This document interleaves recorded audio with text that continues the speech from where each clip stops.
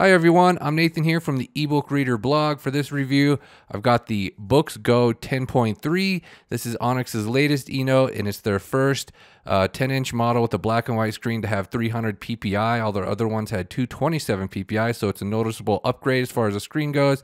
Uh, it just seems to be closer to the surface as well. It doesn't have as uh, much of a gap with the front layer here. On the back of the device, there's this sort of textured lamination. It does kind of have this gap between the edges there. It Kind of has a rough edge I don't particularly love, but it's not uncomfortable or anything. Device is very thin and lightweight for its size. Got the power button on one side, USB-C port, so it lacks a memory card slot like some of the other e-notes. Uh, the stylus is fairly basic. It doesn't have any buttons or an eraser. Um, and the magnet is uh, fairly weak, but it does hold on to the side. So overall design is pretty nice, but the device, the biggest thing is it lacks a front light. So unlike most other e-notes, it's like kind of like the Remarkable in that regard, does not have a front light. So the UI, it's based on Android 12, but it's not really like standard Android 12. It has Onyx's, you know, custom skin here. You've got your different sections for the notes. You got your storage section, and you got your app drawer, of course. Uh, it also supports ebooks, so you got your library for that. Um, then up here, if you swipe down, you have your quick settings. There are some handy features like split screen and screen mirroring, and uh, there's a bunch of different stuff you can set up on here. Uh, so the UI definitely has some cool things going for it, and I like the gesture-based navigation. Uh, so we'll talk about that really quick makes uh, navigating the device really easy. You just swipe up from the bottom to go to the home screen. You can swipe up from the right to go back, swipe up uh, from the left to the ink center, or you can uh, activate the navigation bar if you want. And you can customize these too, so it's not just what it is set here. There are some other gestures that you can set up for uh, swiping in from the side as well. Um, and then you have all these different uh, things you can set to it, like if you wanted to access the apps or the volume, or since it doesn't have a front light, normally you could adjust the front light by swiping up and down, but you got some other stuff you can set on there. You can do screenshots. So I really like uh, how just the user interface works, and you also got the display settings in here. So if you're finding everything a little bit on the small side, you can scale everything larger, so that'll scale everything up as far as the menus, and you know you can see right there, even on the uh, side menu right there, everything got scaled up. It's a little bit easier to read. It's nice having features like that on reading devices. Not everything has that. Um, so let's go ahead and talk about the apps a little bit. So these are all pre-installed apps except for the Kindle app because I wanted to compare it with the Scribe, which I'll do later. Uh, but so one thing you got to learn when you're using third-party apps on Android is it can be kind of glitchy just depending on how it's set up. So if you swipe up from the left here with that gesture, you have the optimization optimization settings, and there's also these different refresh modes. So depending on what refresh mode you have set up, it's gonna like sort of depend on how smooth it scrolls or how much it refreshes. So you got these different modes here. So it just sort of depends. I see people often saying that it doesn't refresh well there's too much ghosting. You got to mess around with these apps a lot. Uh, each individual app has you can have different refresh modes, so it's going to depend on how you know what setting you're using, how much it flashes, and how little ghosting you get. So you kind of have to you know experiment with these to get what you want to you know what you're trying to achieve the best balance between that. You also have these different settings as well for like dark color enhancement so you can uh, increase the text boldness basically and there's a bunch of different optimized settings. So these are available for each app on an app by app basis. So just some one of the things you got to kind of learn when you get an onyx device just setting things up trying to get you know an app optimized as possible because they aren't designed for ink screens so right with these uh, um, optimization settings these different refresh settings. You got to kind of, you know, experiment with these to get the app to work uh, as best as possible on an ink screen. So um, it is kind of nice having that, but it definitely takes a little bit of setup here. And like I said, each individual app can have different refresh modes right here. Find Regal works best for the Kindle. Um, some apps that require, you know, scrolling speed uh, is going to work better. So this little icon in the corner here, it lets you uh, set up different stuff on here. You can customize exactly how it lays out. You can have different quick settings on here. You can access different things.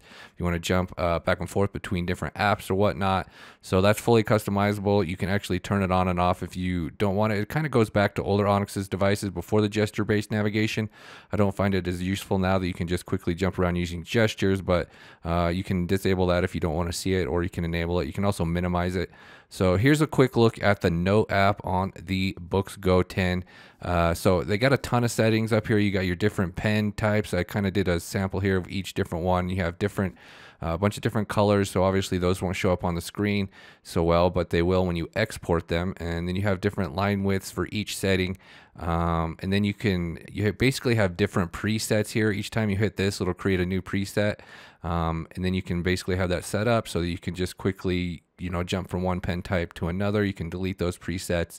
Uh, and then you got your eraser setting up here. You can also use the undo for a quick erase since the uh, stylus doesn't have an eraser on it but you can also like squiggle stuff uh, over writing and that will erase it. You can view thumbnails for each page. Jump back and forth between them that way so you have the different shapes as kind of shown here you have this shape once you select it then you'll be in shapes but you select it again you can choose from the different ones again you have the different colors the different uh, line width so uh, you can do that on here. Uh, you can also there's this uh, AI tool where it will automatically you know make perfect circles if you just hold down after you draw like a circle or square or triangle.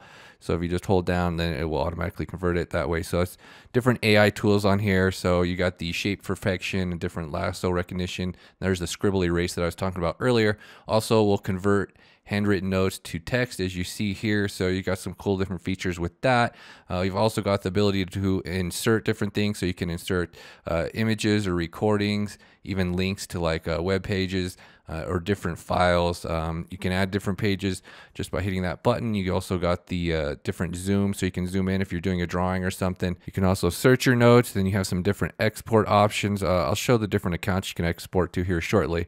Um, you got the different uh, layers. Uh, there's a whole bunch of different uh, templates um, pre-installed as well. So you've got these ones. You can also add your own custom templates. So there's a lot of different templates to work with in the Note app. So overall, it's got a lot of features to work with, a lot more than something like the Kindle Scribe. They've been working on this Note app for several years now, so they've added a lot to it over the years.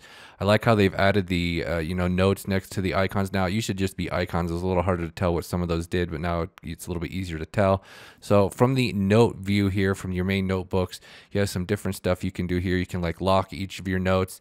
Um, you can sync it with your Onyx account, or you can sync it with these different accounts here. You can bind your account to these uh, to set up different uh, syncing for your notes, so you can get them off the device easy. Uh, there are some different views as well. This is just like the main cover view.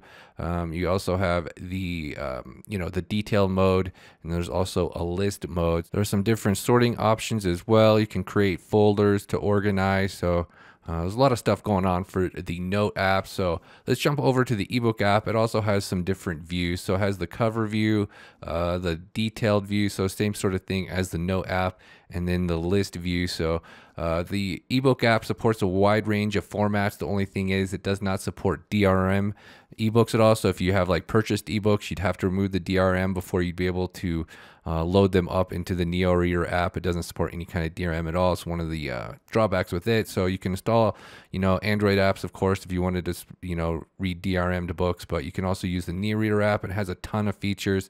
It's got the tabbed browsing up here, so you can have multiple documents open at once and jump between them. Um, there's just a ton of different customization settings as far as layout goes, as far as fonts and uh, you know spacing. So you got a whole bunch of different settings for that, and you got different navigation settings. There's also text to speech. So there's no shortage of settings as far as this app goes. Uh, again, it just doesn't support the purchased ebooks unless you remove the DRM from them first. They also added the dark mode recently to their uh, ebook app here, so you can have the inverted uh, white text on a black background, and it really stands out on this screen here with the uh, you know the new 300 ppi screen with the uh, without the front light layer inter interfering with the clarity or anything uh, it's very clear the darks are very black looks really good do like the screen on this device uh, so if you can get by without the front light I do consider it having the best screen uh, as far as 10 inch e notes go just because it's really clear very close to the surface you can write on the screen as well using the ebook app so now that we're inverted though so it's going to write with black text you're not going to be able to see it. So you'd have to switch over to using white.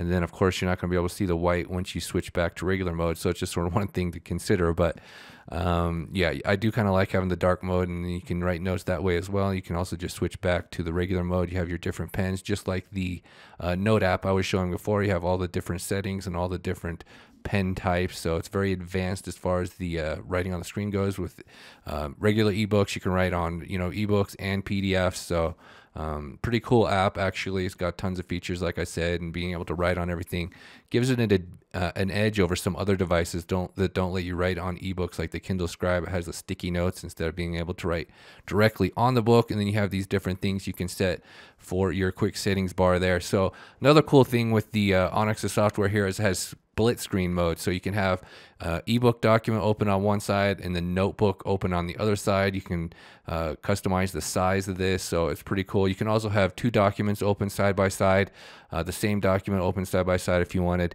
Um, and it also has like a text note as well if you wanted to type with a keyboard. So the split screen feature is pretty cool. It also works with other apps. If you wanted to take notes, uh, it's not just with the built-in Neo Reader app, it'll work with other apps as well. Uh, another thing I wanted to show is the Neo browser. So Onyx's devices do work pretty well as far as web browsing goes compared to other e-ink devices. Again, it's going to depend on like the refresh modes that you use, how smooth like scrolling is and how often it'll refresh. Um, so some of Onyx's other devices have the BSR technology, which is like a faster refresh.